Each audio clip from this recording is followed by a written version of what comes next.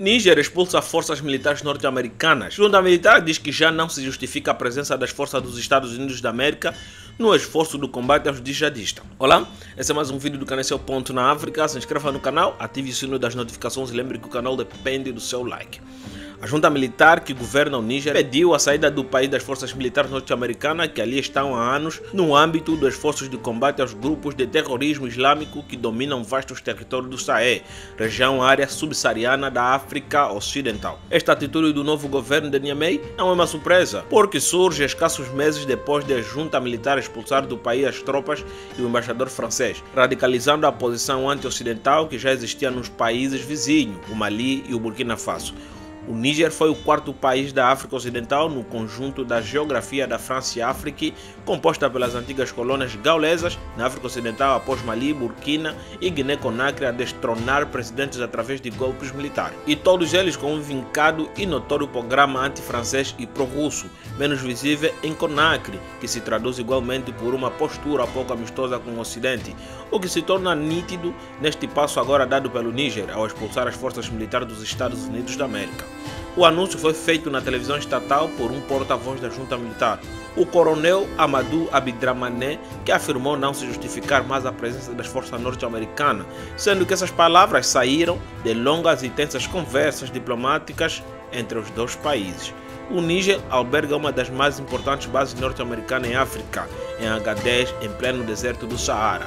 É a partir desta base que é gerenciada a vigilância aérea via drones e aviação estratégica de toda a África saariana e no Sahel, sob justificação do combate ao terrorismo jihadista sendo uma das mais importantes porque permite igualmente abranger uma das vastas áreas da África subsaariana, incluindo Nigéria, RCA, Chad Sudão. Esta base, com perto de 700 militares norte-americanos ativos, é de tal modo relevante para os Estados Unidos da América que de Washington já foi dado um sinal claro, através da enviada espacial para a África, Molly Pym, de que as relações bilaterais poderão ser normalizadas desde que Niamey cumprisse algumas condições. Isto depois de, numa primeira reação ao golpe militar de julho de 2023, Washington ter suspenso a ajuda e a cooperação militar com o Níger e depois do que aconteceu ao aliado francês. Ah, e os Estados Unidos da América reagiram Preste atenção, os Estados Unidos da América acabaram de reagir ao anúncio no sábado passado pela junta militar nigeriana da ruptura do acordo de defesa em Washington. O porta-voz adjunto do Departamento de Estado norte-americano, Van Dant Pincher, alega terem sido pedidos alguns esclarecimentos sobre o caso. Os Estados Unidos da América têm apenas uma outra base em África, no Djibouti. A base de Agadez e a sua base aérea 201 conta com 70 dos mil militares americanos estacionados no Níger a partida compulsiva dos Estados Unidos da América vai privar os americanos de uma base estratégica para o Sahel e a Líbia, que é a via de acesso rumo ao mar Mediterrâneo. Os Estados Unidos, que para evitar este cenário tinham adotado uma postura consolidada com a junta militar, Washington estaria agora à procura de uma alternativa. Bases conjuntas com a França até poderiam ser um cenário a equacionar na África Ocidental, segundo observadores militares. Chad, Mauritânia, Benin ou Marrocos constam dos países citados. Abre aspas. Uma delegação americana de alto nível declarou-se ao Níger na semana passada para abordar vários assuntos com a junta. Os Estados Unidos estão a par do comunicado de junta de 16 de março, anunciando o fim dos acordos de cooperação militar entre o Níger e os Estados Unidos da América. Este comunicado ocorre na sequência de debates francos com a delegação americana sobre a trajetória da transição. Estamos em contato com as autoridades para obter esclarecimentos sobre estas declarações e debater de novo os passos suplementares. Temos o nosso embaixador e respectivas equipas lá e continuamos a debater com eles. A reunião da delegação incluiu trocas de ideias sobre vários temas. O caminho do Níger rumo a uma democracia liderada por civis, o nosso combate comum contra o terrorismo, incluindo o papel de ajuda de segurança americana, a importância de ver o Níger gerir as suas parcerias externas de acordo com o direito internacional. Fecha aspas. Uma opinião bem sincera é que já estava na hora do Níger se posicionar. Países ali que fazem parte da cúpula da França se posicionarem, como é o caso do Congo Belga, que tem uma ligação muito forte com a França. Claramente o reinado do Ocidente aqui na África está a chegar ao fim.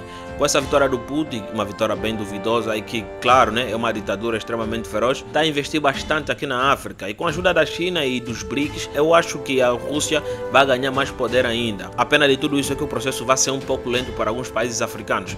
E vale ressaltar também que além do Níger, a Guiné-Conakry é um país que está até pulso firme. E aqui no canal vai sair um vídeo falando sobre os presidentes que já passaram na Guiné-Conakry para vocês salientarem. É isso aí, os Estados Unidos da América está se lixando cada vez mais e está tentando implementar bases militares em quase todos os países africanos. E vale lembrar também que se a gente tiver um histórico abrangente sobre as bases que os Estados da América têm incorporado em países, só trazem mais guerra. Todo e qualquer país que já tem conflito interno tiver a presença dos Estados da América, especificamente de uma base militar dos Estados Unidos da América, provoca os jihadistas. E além disso também as bases dos Estados Unidos da América em países árabes trouxe problemas seríssimos. É claro, não estamos a falar que os Estados da América não fez bem nessa missão dele de trazer a democracia para o resto do mundo. Só que tem países que não dá para instalar a democracia. E quando existe uma tentativa errônea, eu acho que o bicho pega e a cobra vai fumar. A prova disso tudo é a Somália. Com a presença dos Estados Unidos da América lá, houve uma guerra violenta. Povos sofreram bastante. E claro, a Somália está se recuperar hoje em dia, mas não quer dizer que está isento de guerra. Houve também a presença dos Estados Unidos da América em quase todas as Guiné e todos os países que têm ali a cooperação extremamente forte com a França. A mania dos Estados Unidos da América de tentar controlar todo e qualquer política do mundo acho que está a chegar ao fim. Militares estão se rebelando. No ano passado ouviu-se boato que os Estados Unidos da América queria meter uma base militar. Tanto é que Angola recebeu o secretário de Defesa dos Estados Unidos da América. Discute-se essa ideia desde muito tempo. E não é hoje que a gente vem falando sobre algumas teorias específicas.